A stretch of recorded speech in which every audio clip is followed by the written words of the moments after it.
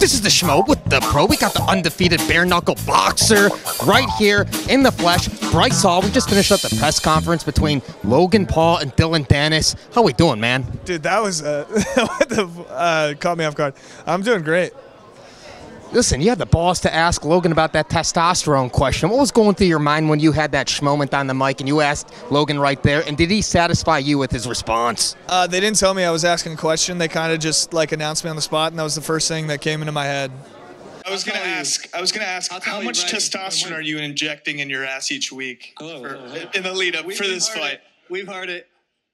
A- Any better question? How tall are you, Bryce? You said you're big. I want to know. Ten, but my Nah, five ten. You rounded I'm, up. fi- I'm five ten, but my arms are like almost the same size as yours.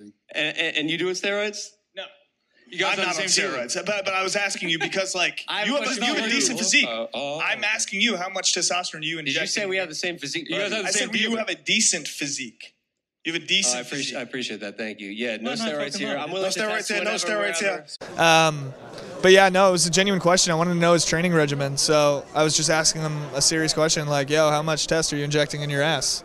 Did you get your answer? Well, he said like, like his his response was, "I'm not big," um, and that am I on steroids? Like he reflected the question on me. Certainly did, man. But you're the one who stepped into the squared circle. No other influencer did that, man. You came away, you trained with the juggernaut. You going back in there or what? Uh, against any influencer, I'm down.